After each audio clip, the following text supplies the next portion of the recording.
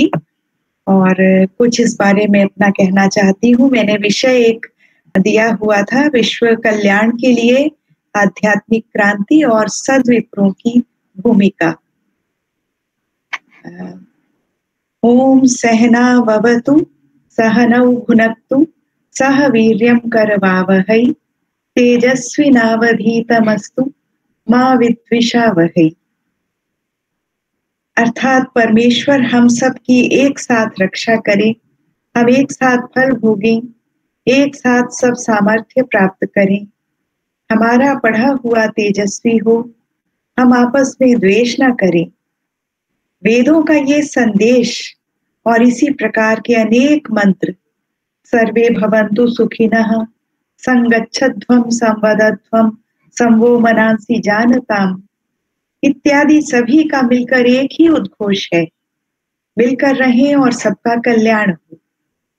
भारतीय संस्कृति का मूल मंत्र है, सर्वजन हिताय, सर्वजन सुखाय।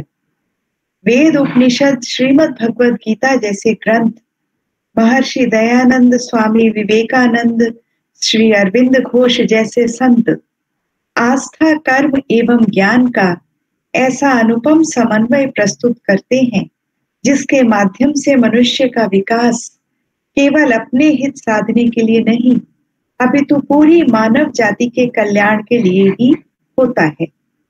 यही भावना आनंद दर्शन की है। इसीलिए मैंने ये विषय यहाँ चुना है। यदि मनुष्य केवल स्वार्थ परक रहता है तो संपूर्ण समाज एवं राष्ट्र में द्वेष की भावना फैली रहती है और धीरे धीरे सब पतन हो जाता है। और मनुष्य और पशु में कोई अंतर नहीं रहता। फिर विश्व कल्याण तो दूर की बात। भाई भाई भी आपस में विश्वास नहीं करते, एक दूसरे पर दोषारोपण करते हैं। कुछ ऐसा ही दृश्य वर्तमान भौतिकवादी, उपभोक्तावादी संस्कृति के कारण आज हम सारे विश्व में देख पाते हैं, जहाँ ज्ञान विज्ञान की उत्कृष्टता होते हुए भी अज्ञान का अंधकार है, क्योंकि श्रद्धा और निष्काम भावना का अभाव है। ईशावास्य उपनिषद इस स्थिति के लिए कहता है अंधम तमह प्रविशंति ये अविद्याम उपासते ततो भूय ते तमो, ये उ विद्यायाम रता। इसकी एक इंग्लिश ट्रांसलेशन जो बुक में से मैंने ली है, वो मैं ज़रूर पढ़ना चाहती हूँ। They who follow after the ignorance enter into a blind darkness, but those who devote themselves to knowledge alone enter into a greater darkness. तो अविद्या अज्ञानता जो है वो भी हमें अंधकार में ले जाती है लेकिन केवल विद्या वो भी हमें प्रकाश की ओर नहीं लेकर जाती तो ये सब समन्वय चाहिए जो आनंद मार्गदर्शन में भी मुझे प्राप्त होता है और ये हमारी औपनिषदिक परंपरा से ही चलता आया है। मानव जाति इस तमोगुणी तमोगुणी प्रवृत्ति से ऊपर उठकर सात्विकता की ओर अग्रसर हो, पार्श्विक प्रवृत्तियों को नियंत्रित करके मानव सुलभ सदवृत्त को अपनाए, यही वर्तमान दार्शनिकों की प्रमुख चिंता है। और यही विचारकों का प्रधान चिंतन। वैज्ञानिक उन्नति और तकनीकी कौशल विकास इस युग की बहुत महत्वपूर्ण उपलब्धि है। परंतु संधारणीय विकास या सस्टेनेबल डेवलपमेंट की बात करें तो हम सभी अपने भविष्य को लेकर कुछ भयभीत हैं, चिंतित हैं, अशांत हैं। देख रहे हैं, समझ रहे हैं कि प्राकृतिक शोभ है, जिसका कारण कहीं हमारी बढ़ती हुई लालसाएँ या over exploitation of natural resources तो नहीं है। लेकिन सामान्य मनुष्य है, सामान्य बुद्धि नहीं समझ पाता है कि सही मार्ग क्या है। कोई एक दो प्रतिशत मनुष्य समझ भी लेते हैं तो टोटल ह्यूमन साइकी में फ़र्क नहीं आता। अज्ञान वश अगर आस्था की बात करते भी हैं तो खाली पूजा, अर्चना आदि को, यज्ञ आदि को ही पूर्ण आस्था समझते हैं और उसे अध्यात्म कहते हैं। श्री श्री आनंद मूर्ति कहते हैं, प्रार्थना अर्चना मात्र भ्रम मूलम। कि प्रार्थना अर्चना मात्र भ्रम ही है, भ्रम का ही मूल है। तो मतलब एक तरफ़ विद्या की बात है जो और अधिक अंधकार में ले जाती है। एक तरफ़ प्रार्थना, अर्चना, भ्रम मूल है। ये दोनों बातें सही हैं, दोनों समन्वित हैं। हमें प्रार्थना, अर्चना, विद्या, इन सब चीज़ों का एक साथ ज्ञान चाहिए। वही औपनिषदिक ज्ञान और वही आनंद दर्शन की प्रेरणा है। ऐसे समय में एक रेवोल्यूशन की आवश्यकता है। एक आध्यात्मिक क्रांति या एक वैज्ञानिक क्रांति, सामाजिक क्रांति, जिससे मानव में सामूहिक परिवर्तन आए, पूर्ण समुदाय की सोच बदले। यह असंभव नहीं है। अब से पहले भी बड़े बड़े सामाजिक और वैचारिक परिवर्तन समाज में होते रहे हैं और वैश्वीकरण के युग में परिवर्तन की दिशा समूचे राष्ट्र को एक स्वस्थ सोच की ओर ले जा बहुत आसानी से ले जा सकती। क्योंकि एक विचार प्रस्फुटित होता है और वो बहुत ही जल्दी सब तक पहुँच जाता है। परंतु कैसे मनुष्य ये जाने कि उसके दृष्टिकोण में सुधार अपेक्षित है? कैसे समझे कि क्या सही मार्ग है? वह अज्ञानी है। इसके लिए कठोपनिषद में बड़ा अच्छा वर्णन आता है अविद्यायाम अंतरे वर्तमाना स्वयं धीरा पंडितम मन्यमाना दंद्रम्यमाणा पर्यंति मूढ़ा अंधे नैव नीयमाना यथांधा जैसे अंधे अंधे को ही रा, रास्ता दिखाए ऐसा ही आ, सब चलता रहता है समाज में। जो मिथ्या गुरु बने होते हैं वो गलत मार्ग पर ही समाज को लेकर जाते हैं। तो ऐसा मार्ग चाहिए, ऐसा दार्शनिक चाहिए, ऐसा आचार्य, ऐसा गुरु, जो सही ज्ञान रखता हो और सन्मार्ग की ओर सबको प्रेरित कर सके। वेद आदि सभी शास्त्रों के अनुसार तत्व ज्ञान ही मार्ग है। इस ज्ञान को ही भारतीय दार्शनिक संप्रदायों में भी प्रस्तुत किया गया और उसे ही समन्वित और ग्राह्य रूप में ये आनंद दर्शन भी हमारे लिए प्रस्तुत करता है। अज्ञानता को मिटाने के लिए भारतीय दर्शन आत्मज्ञान का वर्णन करता है। आत्मा व अरे द्रष्टव्य इस सिद्धांत का, वैदिक सिद्धांत का पोषण करता है। मनुष्य की स्वाभाविक जिज्ञासा उसे बाह्य और आंतरिक जगत को जानने के लिए प्रेरित करती है।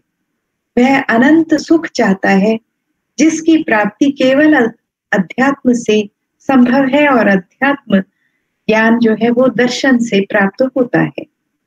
आत्मा जो परम सत्य है, दैहिक सुख दुख आदि से परे है, उसकी ओर उन्मुख होना ही अध्यात्म है या आध्यात्मिक क्रांति है। योगा साइकोलॉजी नामक पुस्तक में भी मैंने ये पाया, when human beings started their movements towards the supreme being, in quest of supreme bliss, they first come in contact with spirituality. तो स्पिरिचुअलिटी सबसे पहले जब वो सुप्रीम बींग की ओर हमारा प्राणी जगत प्रेरित होता है तो पहला जो शब्द है उनके लिए, वो अध्यात्म है। वास्तव में मनुष्य की जिज्ञासा किसी सीमित तत्व में शांत नहीं होती। उसे असीमित अविनाशी की आवश्यकता रहती है, जिसके लिए वो आगे से आगे बढ़ता चला जाता है। नहीं पता होता वो सही दिशा में जा रहा है या नहीं, लेकिन एक अविनाशी के पीछे उसकी जिज्ञासा रहती है। उसे ये भी जानना है कि यदि परमात्मा है तो उसका उसकी जीवात्मा से क्या संबंध है? भारतीय दर्शन में अद्वैत वेदांत और अद्वैत शैव जीवात्मा और परमात्मा में अभेद स्वीकार करते हैं। वही ब्रह्म और जीवात्मा का ऐक्य यहाँ भी आनंद सूत्र में भी प्रतिपादित है। विषय पुरुषावभास जीवात्मा। अर्थात विषय या बुद्धि में पुरुष या ब्रह्म का अवभास ही जीवात्मा है। इसे अणु चैतन्य अथवा माइक्रोकॉस्मिक कॉन्शियसनेस कहते हैं। और जब इस अणु चैतन्य का एसिमिलेशन भूमा या पूर्ण चैतन्य में होता है तो सभी तृष्णाओं की निवृत्ति हो जाती है और वो जो पूर्ण चैतन्य है, उसे मैक्रोकॉस्मिक कॉन्शियसनेस कहते हैं। तस्मिन उपलब्धे परमा तृष्णा निवृत्ति, ये आनंद सूत्र में कहा गया कि यह ब्रह्म प्राप्ति सॉरी, अर्थात उसके उपलब्ध होने पर परम तृष्णा निवृत्ति हो जाती है। यह ब्रह्म प्राप्ति मनुष्य को धीरे धीरे स्थूल से सूक्ष्म की ओर जाते जाते ही होती है। स्थूल जगत को भोग कर उसका मन सूक्ष्म की ओर प्रेरित होता है और वह अपने स्वाभाविक धर्म से ऊपर उठकर भागवत धर्म की ओर अग्रसर होता है। यही मनुष्य का मनुष्य होने के नाते परम धर्म है। आनंद सूत्र में इस भागवत धर्म को समझाया the nature of fire is to burn और प्रोड्यूस हीट सिमिलरली धर्म और the nature of human beings is to seek Brahman the supreme blessedness मनुष्य का ये स्वाभाविक मतलब स्वभाव है, स्वाभाविक धर्म है कि वो परम तत्व में की खोज करना चाहता है, जानना चाहता है। यहाँ ये भी स्पष्ट किया गया है कि भागवत धर्म का अर्थ भगवान की ओर अभिमुख करने वाले धर्म मात्र से है। ये किसी धार्मिक संप्रदाय या हिंदू धर्म आदि का पर्याय नहीं है। इसी भागवत धर्म की ओर प्रेरित होना आध्यात्मिक क्रांति है। मनुष्य जीवन ही मोक्ष का अधिकारी है, वो मिला ही इसलिए है। अतः सभी को भागवत धर्म में प्रवृत्त कराना दर्शन का उद्देश्य है। ये सूत्र प्रोफेसर रामनाथ झा जी ने भी यहाँ उद्धृत किया था, तस्मात धर्म सदा कार्य। इसलिए ये जो धर्म है, उसे सदा करना चाहिए। जो भागवत धर्म है, जो अध्यात्म है। इस प्रकार आनंद दर्शन, भारतीय औपनिषद दर्शन से तथा शैव दर्शन से पर्याप्त साम्य रखता है। जहाँ अध्यात्म का अर्थ आत्मा व परमात्मा में अभेद है। आनंद दर्शन में आध्यात्मिक क्रांति का स्वरूप इस उद्देश्य से प्रतिपादित किया गया है कि भोग त्याग की जो हमारी संस्कृति पूरे विश्व को वास्तविक आनंद के साथ स्वस्थ जीवन यापन पद्धति की शिक्षा प्रदान कर सके। अध्यात्म का महत्व जान लेने के साथ ही ये भी अपेक्षित है कि कौन ऐसे योगी सन्यासी विद्वान महात्मा साधु हैं जो इस प्रकार अध्यात्म का अर्थ और प्रयोजन जन सामान्य को समझाकर समाज का दिग्दर्शन करने में समर्थ हो। यहीं पर सदविप्रों की बात आती है जो पंचम अध्याय में प्रस्तुत होती है। आ, उसके आरंभ में ही कहा वर्ण प्रधानता चक्र धारायाम। यहाँ चक्र क्या है? इसमें, गीता में इस बारे में, चक्र के बारे में कहते हैं, एवं प्रवर्तितम चक्रम नानुवर्तयती यह अघायु इंद्रियारामो मोघम पार्थ सजीवती। इस प्रकार ये समाज या सृष्टि का चक्र चलता है? और इस सारी अपना अपना कर्तव्य निभाता है। अगर ऐसा नहीं करता तो वो व्यर्थ ही जीता है। इस प्रकार का भाव समाज चक्र को लेकर प्रस्तुत किया और वही चक्र धारा की यहाँ बात की तो समाज चक्र की धारा में वर्ण प्रधानता अनिवार्य रूप से रहती है, ये बात यहाँ प्रस्तुत की गई। आनंद दर्शन की प्रथम चार अध्यायों की पृष्ठभूमि में ये चार वर्णों का प्रतिपादन मनुष्यों में वर्ण भेद का प्रतिपादन नहीं करता है। इसीलिए मैंने वो आनंद मार्ग के एक संक्षेप में भावना को प्रस्तुत किया ताकि हम सदविप्र क्या है इसको भी समझ पाए, क्योंकि किसी भी दर्शन को समझने के लिए पूर्ण उसकी जो फिलॉसफी है वो पता होनी चाहिए। तो चार वर्णों का प्रतिपादन जो है ये वर्ण भेद को नहीं मानता है जिस रूप में आज ये समाज में आ गए हैं। ये भी हमारे गीता और वेद और उपनिषद के समान ही इन वर्णों को स्वीकार करते हैं कि सामाजिक परिवर्तन और उतार चढ़ाव उतार चढ़ाव की स्वाभाविक प्रक्रिया में ये जो वर्ण हैं अपने अपने गुण कर्म को लेकर कार्य करते हैं। इन्होंने यहाँ स्पष्ट किया कि जिस समाज में कोई सुव्यवस्थित नियम नहीं होता, उसे शूद्र युग कहा गया। फिर शक्तिशाली नेतृत्व के युग को क्षत्रिय युग कहा गया है। तत्पश्चात विद्वानों या बुद्धिजीवियों की प्रधानता के युग को, विप्र युग और पुनः पूंजीवाद के युग को वैश्य युग कहा गया है। नामानुसार है ये। ये चारों युग क्रमशः चलते रहते हैं और सामाजिक क्रांति के होने पर इनमें परिवर्तन भी आता रहता है। परंतु समाज चक्र के केंद्र में सदविप्र माने गए हैं, जो चक्र के नियंत्रक बनकर नैतिक मूल्यों और आदर्शों का संरक्षण करते हैं तथा अनैतिकता का बलपूर्वक दमन करते हैं। पाँच, पाँचवें अध्याय के दूसरे सूत्र, आनंद सूत्र की मैं इंग्लिश में कमेंट्री यहाँ एक बार पढ़ना चाहती हूँ। the social cycle will no doubt rotate, but if due to their dominance, the warrior in the Kshatriya age, the intellectuals in the Vipra age, or the capitalists in the Vaishya age degenerate into rapacious exploiters instead of functioning as benevolent, benevolent administrators. The sacred duty of the Sadvipras shall be to protect the righteous and subdue the wicked through application of force. ये बहुत ही महत्वपूर्ण बात है actually समाज में ऐसे शिक्षित वर्ग है, ऐसे ज्ञानी लोग होते हैं, परंतु ये समय कुछ इस प्रकार का है, जहाँ ये लोग सत्य वचन की अपेक्षा मौन को प्राथमिकता देते हैं, मौन रहने को प्राथमिकता देते हैं तो आ, मुझे लगता है ऐसे सदविप्र आज बहुत अपेक्षित हैं जो मनुष्य को मार्ग दिखा सके अन्याय के विरुद्ध आवाज़ उठाएँ। इसी को आ, मुख्य रूप से आध्यात्मिक क्रांति कहा जा सकता है क्योंकि ये सभी जो सतविप्र हैं ये सत्य के मार्ग का अनुकरण करते हैं और परमात्मा की ओर अभिनिविष्ट है।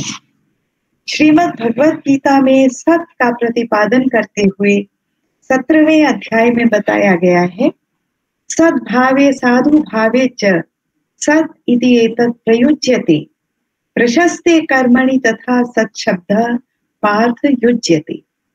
कि सद्भाव और साधु भाव में सत शब्द का प्रयोग और प्रशस्त कर्म में सत शब्द का प्रयोग होता है, और यज्ञ तपसी दाने च स्थिति सदिति उच्यते। कर्म चैव तदर्थीयम। सदित्येवाभिधीयते। यज्ञ में, तप में, दान में स्थिति सत कहलाती है और कर्म भी उसी के अनुरूप सत कहलाता है। यज्ञ, तप, दान के अनुरूप। तो इस प्रकार सत की अगर हम ये व्याख्या देखते हैं तो सत विप्र जो है, वो आज एक सामाजिक और आध्यात्मिक क्रांति लाने में समर्थ होते हैं। ये विशेष बल का प्रयोग करके, भ्रष्टाचार और शोषण का दमन करके, सत्य और न्याय से परिपूर्ण विप्र युग को क्रांति द्वारा लेकर आते हैं। तीव्र गति संपातेन गतिवर्धनम विप्लव, अर्थात तीव्र बल प्रयोग से सामाजिक चक्र का परिवर्तन होता है, उसे ही विप्लव या रेवोल्यूशन या क्रांति कहते हैं। तो तीव्र गति संपादन मतलब नेचुरल फ्लो में रोटेशन चलता है। परंतु जब भ्रष्टाचार, शोषण, अन्याय बढ़ जाता है तो ऐसे सदविप्र अपेक्षित हैं जो उसकी दिशा मोड़कर शीघ्र शीघ्र उसको विप्र युग में परिवर्तित करने का लक्ष्य रखें। ये क्रांति नैतिकता एवं तत्व ज्ञान के द्वारा ही संभव होती है।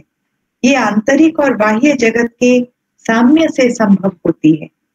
संक्षेपतः नैतिक आदर्शों ज्ञान एवं सम बुद्धि से समन्वित विद्वान। सद विप्र हैं जो चर अचर सभी प्राणियों में न्याय एवं व्यवस्था के प्रतिपादन में समर्थ हैं।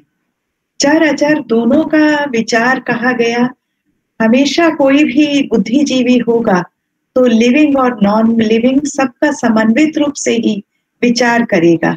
नहीं करेगा तो वही दशा होगी कि आज हम लिविंग बींग्स के डेवलपमेंट में लगे हैं और जो नॉन लिविंग है उसकी ओर ध्यान नहीं देते हैं और ये प्राकृतिक शोभ हमारे सामने उपस्थित होते हैं। तो the goal is the attainment of that supreme stance where there will be justice and fair play for all inanimate and animate beings ऐसा योगा साइकोलॉजी से मैंने उठाया है।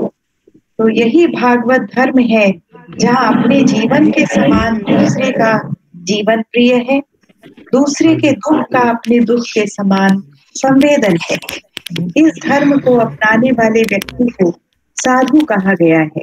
क्या कह रहे हो? ऐसे ही सत्यनिष्ठ तेजस्वी ब्राह्मण की कामना आ ब्रह्मन ब्रह्मणो ब्रह्म वर्चसी जायताम इस वैदिक मंत्र में भी की गई है। और योग क्षेम न कल्पताम ये उसका उद्देश्य बताया गया है कि ऐसे ब्रह्म वर्चस ब्राह्मण हमारे राष्ट्र में उत्पन्न हो। तो ये सदविप्र जो होते हैं इनकी मानसिक और शारीरिक क्रियाएँ मतलब मन वचन और कर्म से समान होते हैं।